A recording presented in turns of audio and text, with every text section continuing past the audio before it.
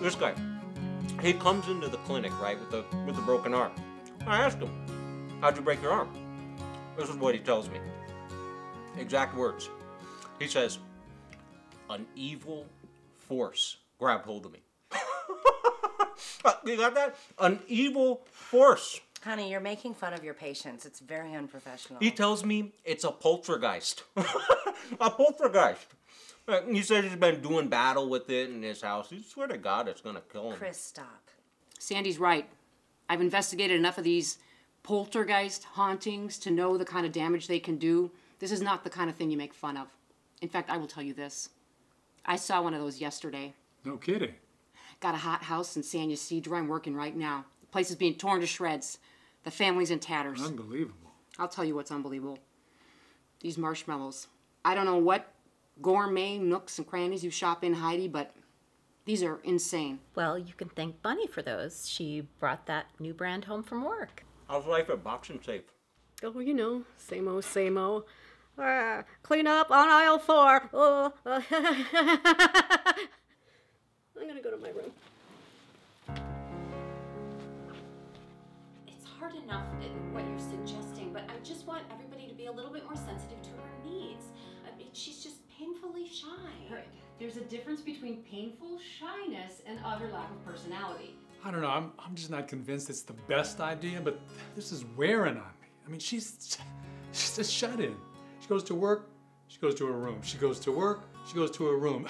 I mean, she has always lived with you. Leland. Well, it's what? Is, is she part of the package when we move in together? I can help her. A personality transplant will really help your sister Heidi. I've seen them work. Have you lost your mind? To the tune of millions of dollars per year as the number three paranormal investigator in the US of A. Uh, could, could you be my donor? I, I- I mean, you are so beautiful. You're so driven, successful, and outspoken. I, I mean, you, you- you're just like the, the whole package. Yes.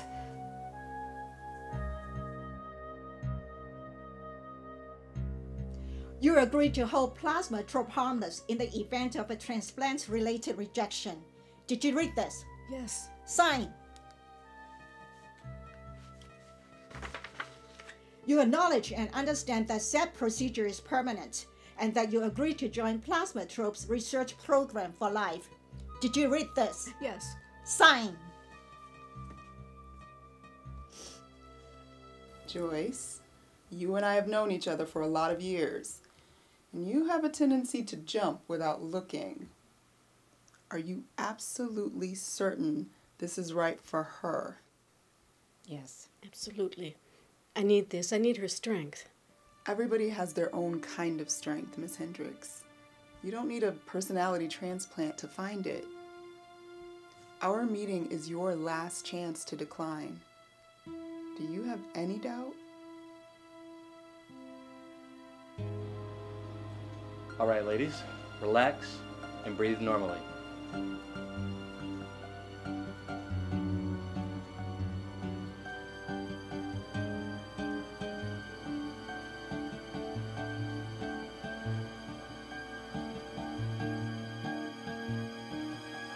I'm going out for a walk and I'll be back. You're not staying in the house? Why in the hell would I do something like that?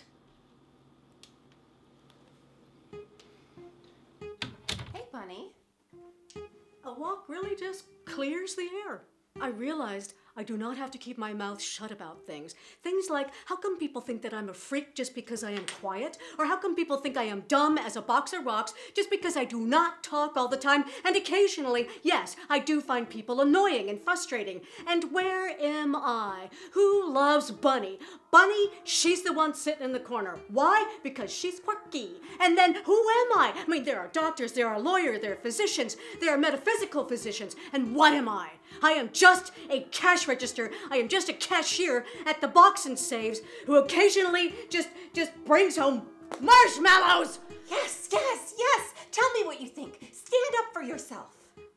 All right. Um, I'm I'm really mad at my mother and my our, our mother and our father for naming me Bunney. Who names their daughter Bunney? B U N N E Y. Who does that? My parents. Your parents. That's it. Break out of your shell. This is what we wanted for you all along. It's what you deserve. Once you get past this, it's a whole new world for you.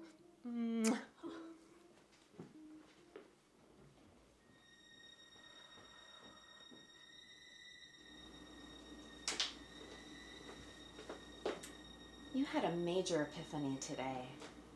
I'm so proud of you. That deserves another hug.